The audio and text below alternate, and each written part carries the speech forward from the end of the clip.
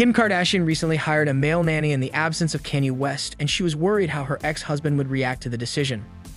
But in the latest episode of Hulu's The Kardashians, which kicked off its fourth season in September, the Skims founder revealed that the Donda rapper was surprisingly chill about the family's new employee. I recently hired a nanny. Kardashian began, noting that she has a female-dominated household, according to People. I really want a male around that would be picking them up and taking them to sports, and I was scared out of my mind to tell their dad that. When he was dropping off the kids, Kenny introduced himself, continue the reality star, who shares daughters North 10 and Chicago 5, as well as sons Saint 7 and Psalm 4 with Ye. They played two on two with Saint and him. He's been so nice to him, like, hey, if you're going to help raise my son, because he handed him the ball really easily or something. He's like, don't do that, have him get it himself, she added. It's some of the rules I would want.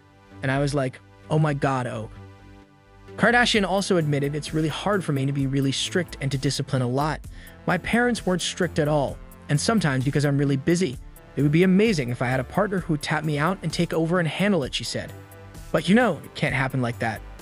The American Horror Story actress has been open in the past about the difficulties of parenting as a single mom following her split from Ye in February 2021. Both sides initially said that the breakup would be amicable, but things became increasingly tense between the two when Kardashian started dating Pete Davidson in 2022, whom she's no longer seeing.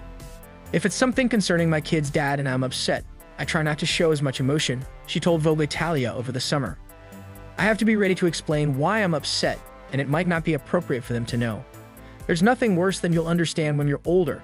I don't want to be that person.